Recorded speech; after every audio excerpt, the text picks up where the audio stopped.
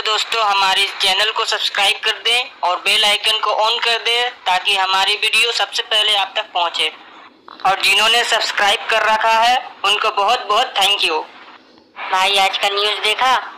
कैसा न्यूज़ अरे कल तूफ़ान आने वाला है इसलिए स्कूल भी दो दिन बंद रहेगा। वाह यानी दो दिन होमवर्क नहीं करना पड़ेगा?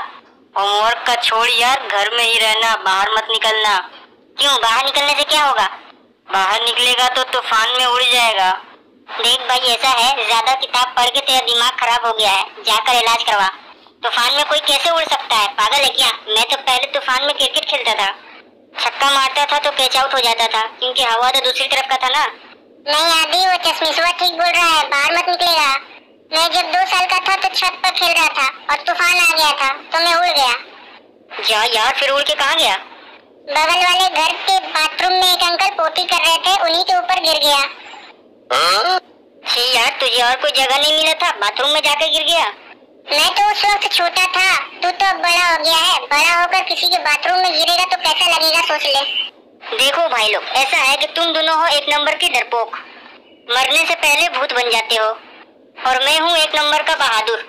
मैं कोई तूफ़ान उफान से नहीं डरता। मैं तो बाहर निकलूँगा भाई। तुम डरपोक लोग घर में छुप के रहना।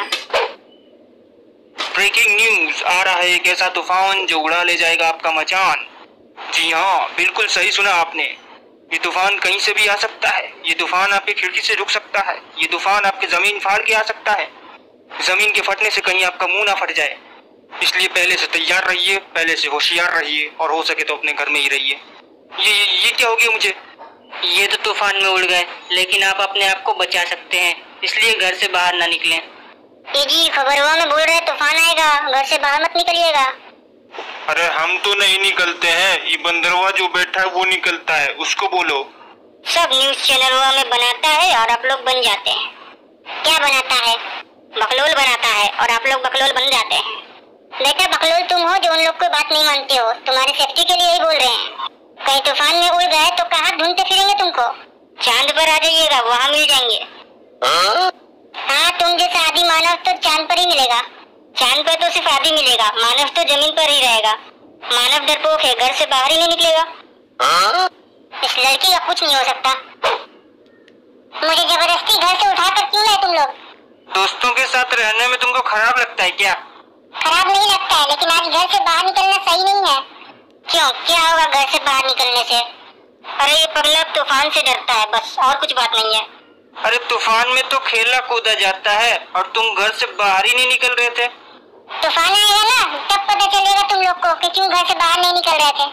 अरे क्या तूफ़ान तूफ़ान किए हो? डरते हैं क्या तूफ़ान से?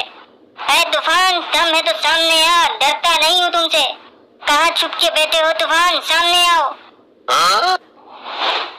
ये भाई, ये तूफ़ान तो सच में आ गया।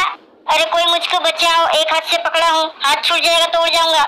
सबसे पहले तो तुझको ही उड़ना चाहिए बोल रहा था कि बाहर मत निकलो लेकिन नहीं इनको तो बाहर निकलना है तूफ़ान को दावत देना है। अब स्वागत करो तूफ़ान का। भाई दुनिया तो पूरा उल्टा हो गया है। दुनिया नहीं बे तू उल्टा हो गया है। बचाओ मम्मी पापा।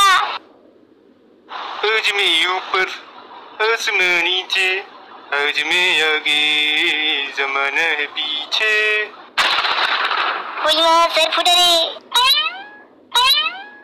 और कोई बचा है तो उसको भी बुला लो आसमान से। तो अभी मनुजो पोटी कर रहा हूँ मुजरा नहीं जो दिखने आ गए।